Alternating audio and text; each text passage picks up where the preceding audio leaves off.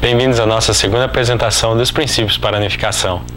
Nessa primeira parte, vamos discutir o princípio da criação, a natureza de Deus e o propósito de nossas vidas. Deus é descrito como a fonte de todo amor verdadeiro e a harmonização do ser como masculinidade e feminilidade. E a intenção do relacionamento entre Deus e toda a criação deveria ser como o relacionamento entre pais e filhos.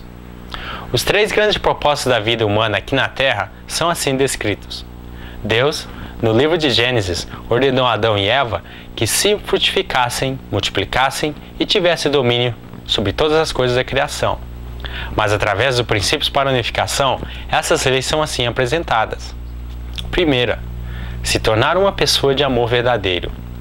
Segunda, criar uma família de amor verdadeiro, uma sociedade, uma nação e um mundo centralizado no amor verdadeiro. E terceira, tendo domínio sobre toda a criação como uma pessoa de amor verdadeiro. Como pessoas conhecedoras da palavra de Deus, por favor, desfrutem dessa apresentação sobre o princípio da criação.